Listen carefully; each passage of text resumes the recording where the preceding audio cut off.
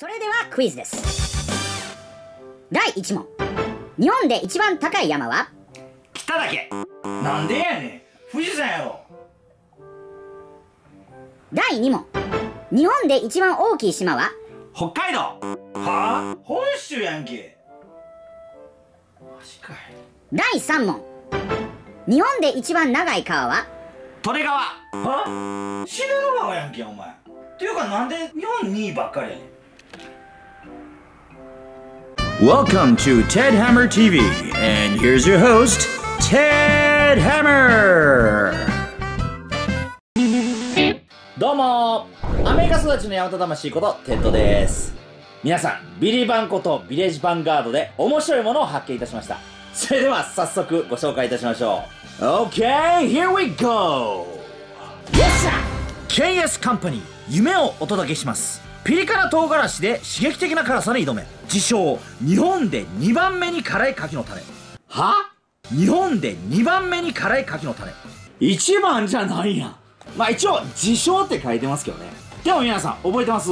以前にデスソースの牡蠣の種に挑戦しましたけども。あれは惨敗でしたもんね。全部食べれませんでした。いや俺ねあれが日本一辛いんかなっていう風に思っとったんやけども。いやなんかそうじゃないらしいですねそしたら一番辛い牡蠣の種って一体何やねん。っていうかこの日本で2番目に辛いこの牡蠣の種は何やねん。っていう感じがしますけども。いやでもなんか面白いですね。1番目じゃないん。やあくまでも2番目として名乗るのが非常に面白いですよね。いやー今日また悶絶するんやろな。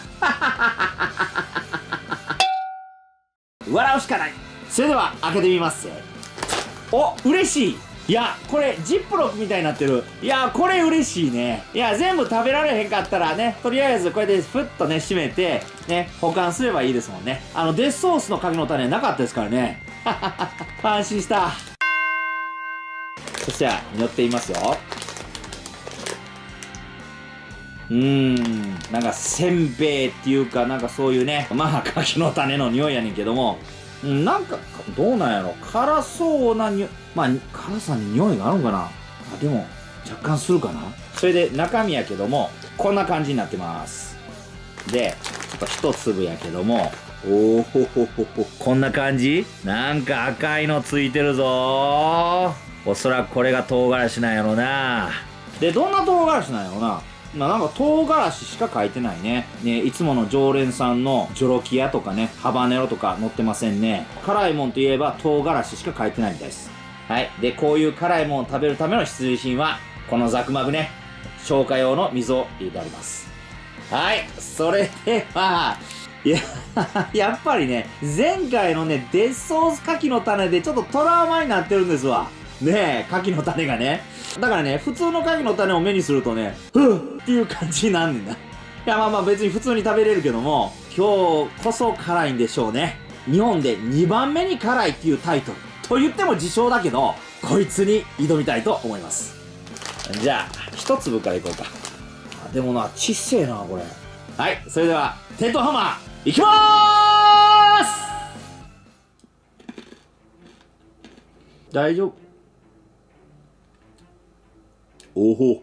おお一粒やけど結構威力あるぞ。まあ今は大丈夫やなこれ。そしたらこれぐらいいきましょうか。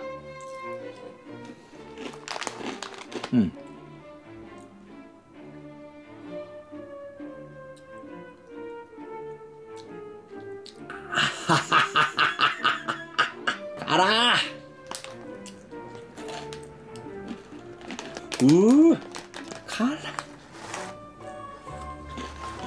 うわこれも辛いわ。どうわうわこれも後から来るけやわ。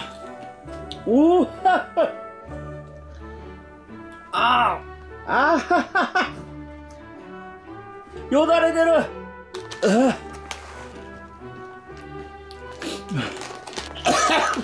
うえああ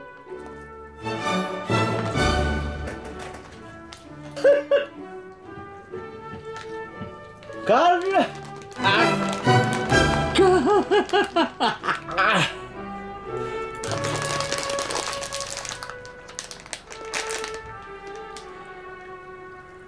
あのねまあサドンデスに通じる辛さですねああもうこれやばい。これもやばい。これ。めっちゃ辛い。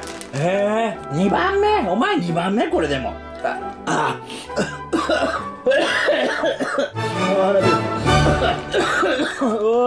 ああ無理ですお母さん助けて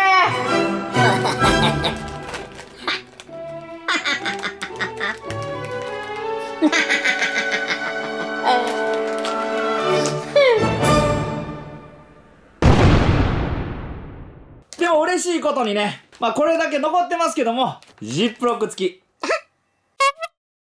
いやー、参りました、これは。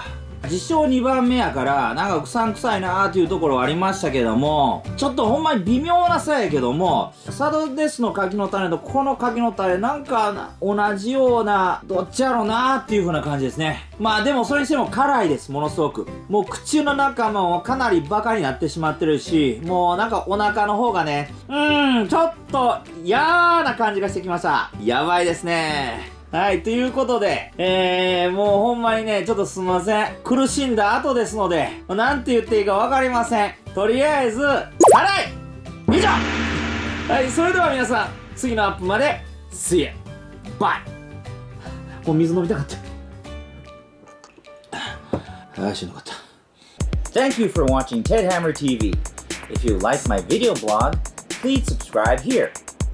登録してね。